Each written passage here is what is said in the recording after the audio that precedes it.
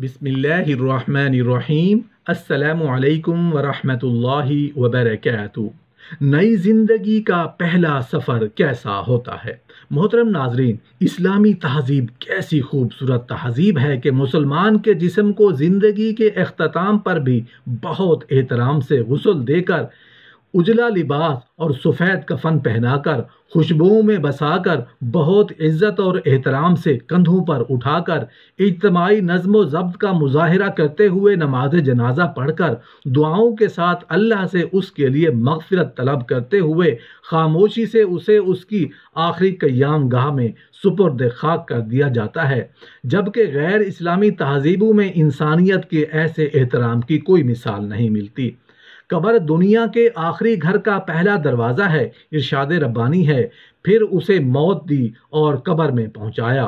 मौत के बाद उसे कब्र में दफनाने का हुक्म दिया ताकि उसका एहतराम बरकरार रहे। वरना दरिंदे और परिंदे उसकी लाश नोच नोच कर खाते, जिससे उसकी बेहरमती होती। रसूल अल्लाह सल्लल्लाहु अलैहि वसल्लम ने फरमाया, कब्रें आखरत की याद ताज़ा करती हैं। हज़रत बरा बिन आज़िब रज़ी अल्लाह फरमाते हैं, हम नबी करीम सल्लल्लाहु अलैहि वसल्लम के साथ एक जनाजे में शरीक हुए। आप सल्लल्लाहु अलैहि वसल्लम कब्र के एक किनारे पर बैठ गए। और इतना रोए कि ज़मीन की मट्टी आँसू से तर हो गई। फिर फरमाया अय मेरे भाइयों, इस घर की तैयारी करो। नीज़ अल्लाह के रसूल सल्लल्लाहु अलैहि वसल्लम ने फरमाया, मैंने कब्र से ज़्यादा सख्ती और घबराहट वाली जगह और कोई नहीं देखी।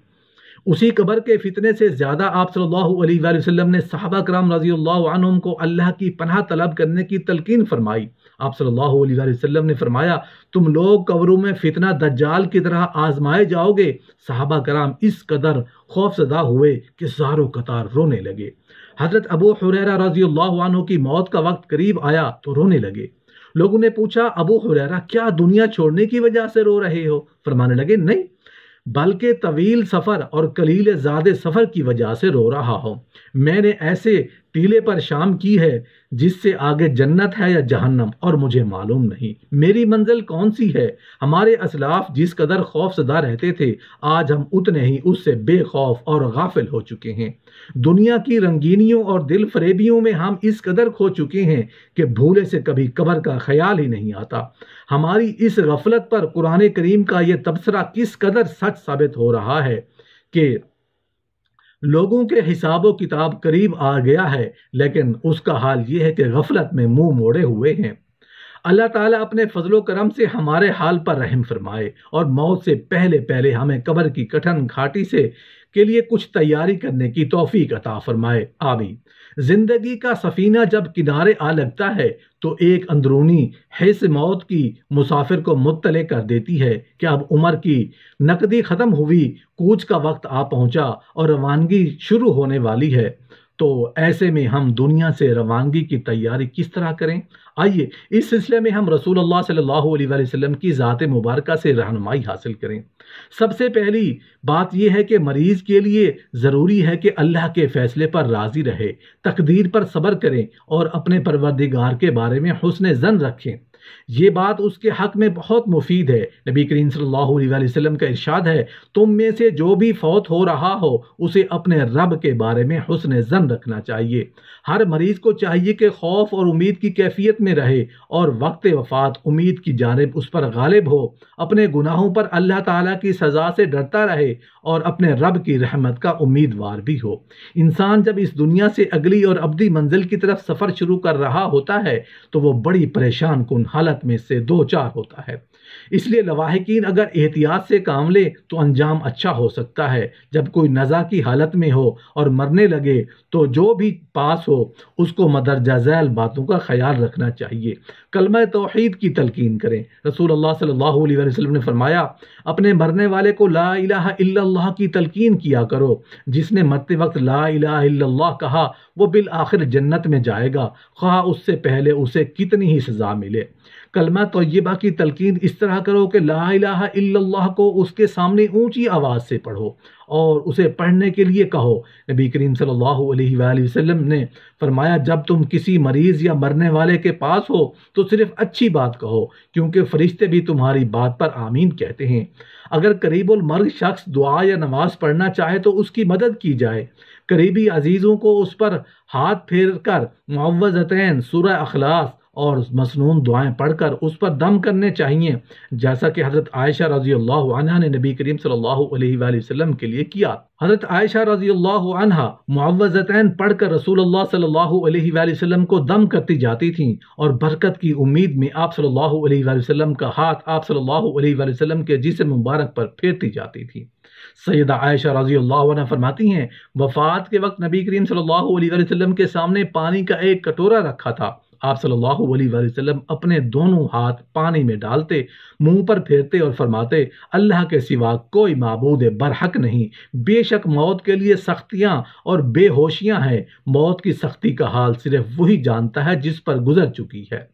दूसरा महज कयास आराई कर सकता है या मरने वाले की हालत देखकर कुछ अंदाज़ा लगाया जा सकता है। मौत बराह रात रूह को खींचती है, जो बदन के सारे आज़ा में फैली हुई है।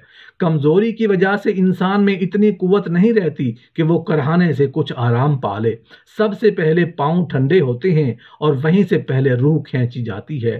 फिर पंडलियों और रानों से रूह खींची जाती है। इसी तरह हर उज्व ठंडा होता रहता है और हर उज्व को इतनी ही तकलीफ़ होती है जिस कदर ज़िंदगी में उसे कांटे से होती है। यहाँ तक कि रूह हलक तक पहुँचती है तो आँखों से नूर जाता रहता है, फिर मुँह के ज़रिए से रूह निकल जाती है। नबी करीम सल्लल्लाहु अलैहि वसल्लम दुआ किया करते थे अय अल्लाह, मैं ज़िंदगी और मौत की आजमाइश से तेरी पनाह में आता हूँ, मरने के बाद कोई शख्स वापस नहीं पलटता। इसलिए ठीक मरने की कैफियत बताना तो मुमकिन नहीं। अलबत् कुरान हदीस में मौत की शिद्दत और सख्ती का ज़िक्र आया है। इससे अंदाज़ा ये होता है कि दुनियावी ज़िंदगी के सारे मसाइब आलाम, सारे रंजो गम और सारी तकलीफ़ें, मुसीबतें इकट्ठी कर दी जाएँ तो मौत की तकलीफ़ और शिद्दत उनसे कहीं ज़्यादा होगी। सूरा कौफ की आयत नंबर 19 में इरशाद बारी ताला है, और मौत की बेहोशी हक लेकर आ पहुँची। हक से मुराद आलम बरज़क के हकाए को सच्चाइयाँ हैं। फरिश्ते नज़र आ जाते हैं। यानी मौत के साथ हक वाजे और उन वादों की सदाकत ज़ाहिर हो जाती है, जो क़यामत और जन्नत और जहन्नुम के बारे में अम्बिया कराम करते रहते हैं। अजाब या सवाब का यकीन हो जाता है, मौत की सख्ती और शिद्दत का ज़िक्र करते हुए सूरा अल क़यामा की आयत नंबर छब्बीस ता उनतीस में इर्शाद बारी ताला है। जब जान हलक तक पहुँचती है तो कहा जाता है कि कोई झाड़ फूंक करने वाला और वो यकीन करेगा कि अब दुनिया से जुदाई का वक्त आ गया है। वो पंडली से पंडली लिपट जाएगी। पंडली से पंडली लिपट जाने का मतलब ये है कि मौत के वक्त पै दर पै तकलीफ़ें पहुँचेंगी। उस वक्त हाजरीन में से कोई है जो झाड़ फूँक करने वाला। और यकीन करेगा कि अब दुनिया से जुदाई का वक्त आ गया है। रसूल अल्लाह सल्लल्लाहु अलैहि वसल्लम का इरशाद मुबारक है। मौत की तकलीफ़ बड़ी शदीद है। दूसरी हदीस में हज़रत अबू हुरैरा रज़ी अल्लाह कहते हैं कि रसूल अल्लाह सल्लल्लाहु अलैहि वसल्लम ने फरमाया, लज्जतों को मिटाने वाली चीज़, यानी मौत को कसरत से याद किया करो। रसूल अल्लाह सल्लल्लाहु अलैहि वसल्लम ने जिस मर्ज में वफात पाई, उसमें आप सल्लल्लाहु अलैहि वसल्लम के इजतराब और बेचैनी का आलम यह था कि पानी का प्याला साथ रखा था, जिसमें आप सल्लल्लाहु अलैहि वसल्लम बार बार हाथ मुबारक डबोते और चेहरा मुबारक पर मलते, अपनी चादर कभी चेहरा मुबारक पर डालते और कभी हटा लेते। आप सल्लल्लाहु अलैहि वसल्लम पर जब मौत की गशी तारी होने लगी तो आप सल्लल्लाहु अलैहि वसल्लम अपने चेहरा मुबारक से पसीना पहुँचते और फरमाते जाते, मौत के लिए बड़ी सख्तियाँ हैं। हज़रत आयशा रज़ी अल्लाह फरमाती हैं कि नबी करीम सल्लल्लाहु अलैहि वसल्लम की मौत की तकलीफ़ देखने के बाद अब मैं किसी के लिए मौत की सख्ती को ज़्यादा नहीं समझती।